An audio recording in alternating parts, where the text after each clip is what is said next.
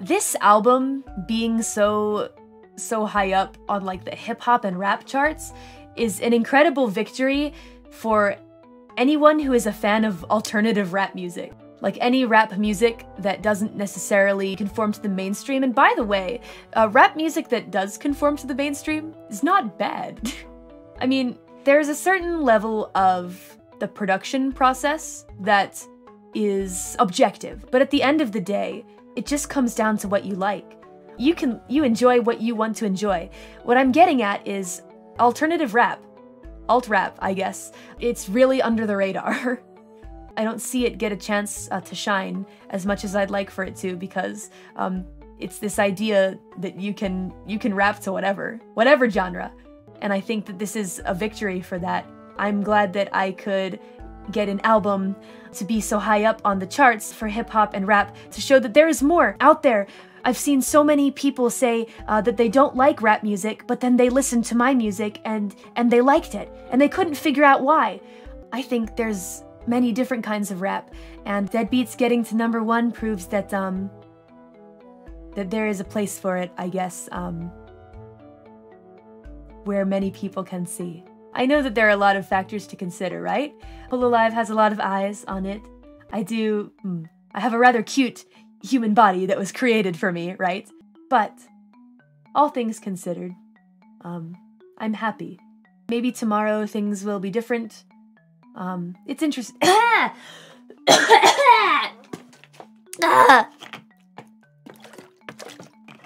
I was thinking about this today. It's interesting going every day to scythe swinging lessons with Death Sensei and going about my regularly scheduled day, etc.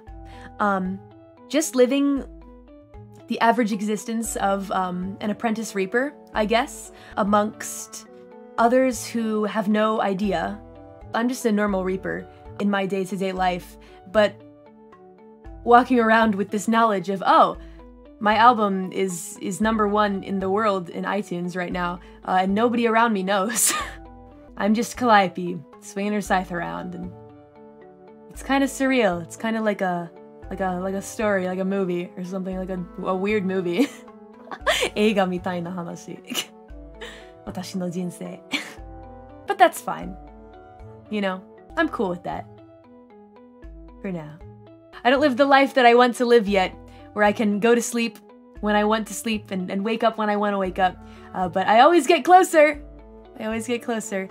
And I'm always thinking about the people who inspired me to start doing music. Yeah. A lot of them are still underground right now, um, but I haven't forgot them. Just want to give a shout out to those people. Yeah. I should stop being sleepy. ちょっと眠い。 uh, it's just, it's been a lot. It's, it's just been a lot recently.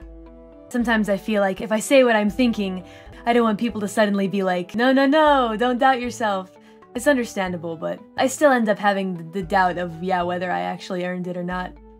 I mean, I did work really hard, but there are also a lot of other factors to consider, so, as I've said, uh, keeping a level head about this, I guess. Yeah.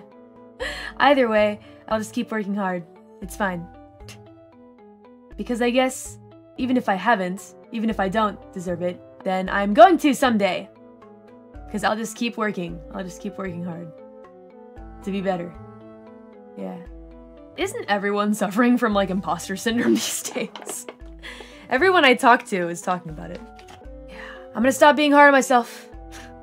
I'm stopping. I'm stopping. Yeah, I did try really hard, huh? that's one thing. I did try really hard.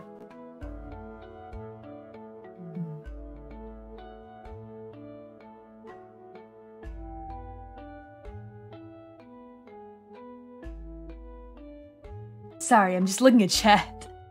I have a hard time reading chat and like talking at the same time. So sometimes I just look. Ah.